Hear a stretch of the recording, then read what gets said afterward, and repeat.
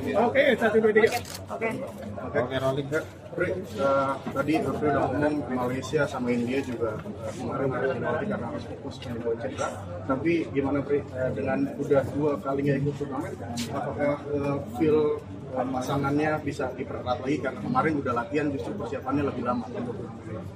Eh, ya, ya, yang pastinya setelah kemarin kan sudah, sudah pas eh, apa namanya pemulihan, juga kemarin sudah ada peningkatan latihan juga, dan kami individual kami juga eh, sudah kami perbaikin, baik saya maupun dia. Jadi mungkin untuk feel eh, sudah lama tidak bertanding, mungkin tidak ada kehilangan itu sih karena eh, kami selalu apa namanya membuat kami untuk terus eh, apa ya gimana kita latihan bikin pertandingan aja gitu. Kayak individual kami juga semakin baik. Ya itu aja sih Tapi kalau eh, dari dokter sendiri kemarin gimana? Kalau untuk pertandingan kali ini apakah ada pesan-pesan sendiri? Jangan terlalu over bergeraknya atau seperti apa?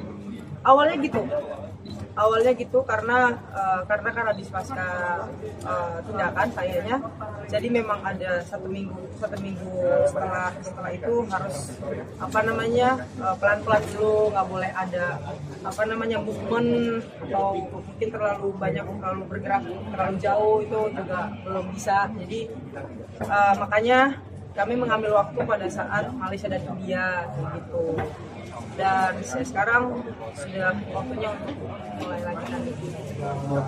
Kalau Pak Dia gimana Pak? Eh, kemarin udah stres eh, dua pertandingan untuk Indonesia Open ini gimana? Ya persiapannya 100% bagus karena setiap hari juga kita latihan terus dari kemarin dari habis latihan itu kita sama sekali nggak ada libur ya paling cuma satu minggu doang. Kita benar persiapin dan kami fokus jadi untuk main di sama kita siap.